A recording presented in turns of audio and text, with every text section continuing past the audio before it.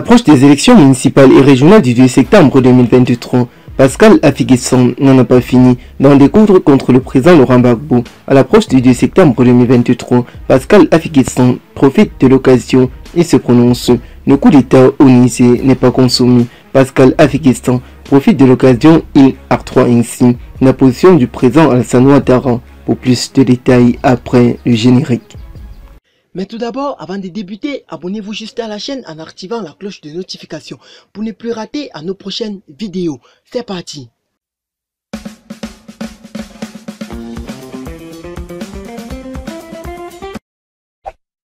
Près de mois après la prise du pouvoir par l'armée nigérienne à la situation sociopolitique reste confuse.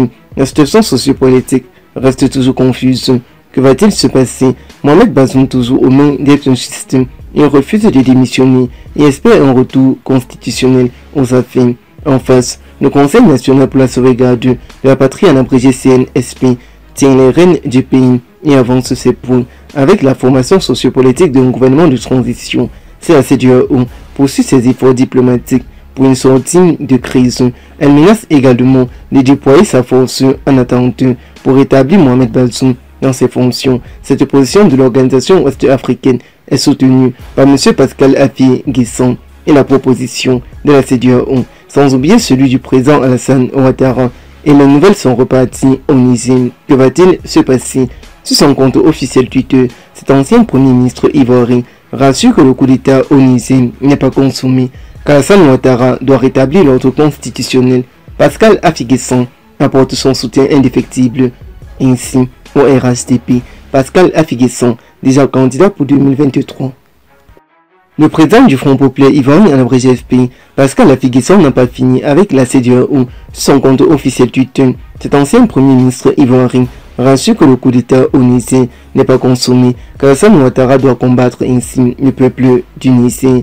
Pour noter, pour noter ainsi sa participation aux élections municipales et régionales du 2 septembre 2023, Pascal Afiguesson a avoué apporter son soutien indéfectible au président Alassane Ouattara au soir du 2 septembre 2023 pour les élections municipales et régionales, une date à ne même pas manquer.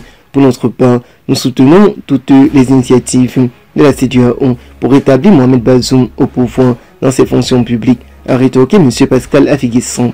Ce combat est essentiel pour la victoire de la démocratie et l'équilibre de la sous-région, a indiqué le leadership du Front populaire ivoirien en abrégé FP, l'ancien parti politique de M. Laurent Gbagbo une prise de position concrète à celle de son ancien menton, Laurent Gbagbo.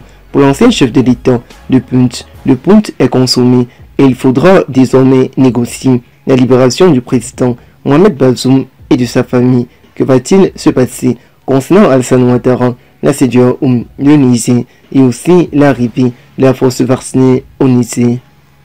Pour rappel, le président du Conseil national pour la sauvegarde de la patrie et la présidente CNSP, le général Abdoudraman Tiani, a reçu.